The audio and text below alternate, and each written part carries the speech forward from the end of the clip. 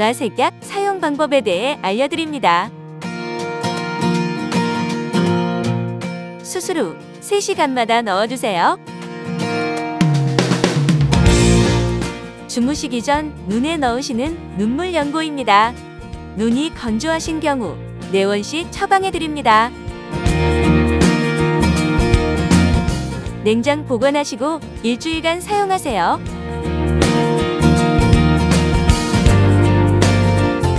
근시 정도에 따라 다르나 원장님 지시까지 3시간마다 흔들어서 넣어주세요. 안약이 떨어지면 처방을 받아 구입하셔야 합니다.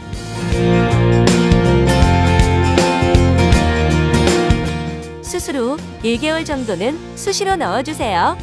그 후는 건조함으로 인해 불편하신 정도에 따라 사용하시면 됩니다.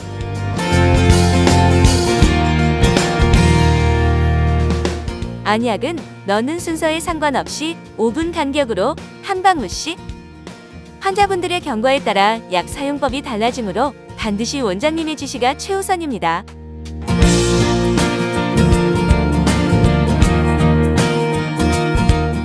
수술 후 세안은 보호렌즈를 제거한 이후부터 가능하며 눈을 비비거나 세게 감거나 심한 자극은 절대 피하셔야 합니다.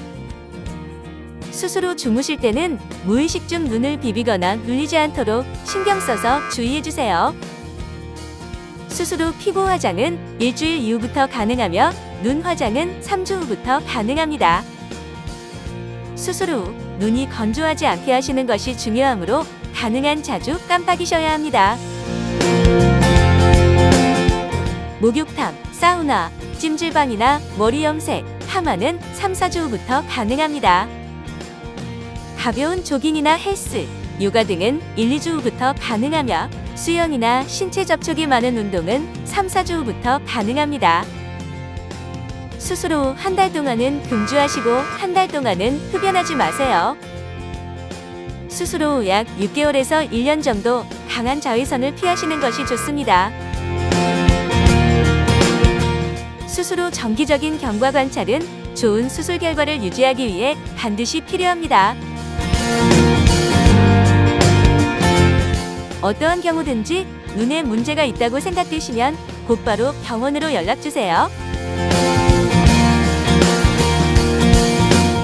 양안에 심한 시력 차이가 있을 때 한쪽 눈만 심하게 충혈되거나 눈이 부을 경우 라섹 수술 후 4, 5일간은 통증, 눈물남, 시림, 이물감 등의 증상이 있을 수 있습니다.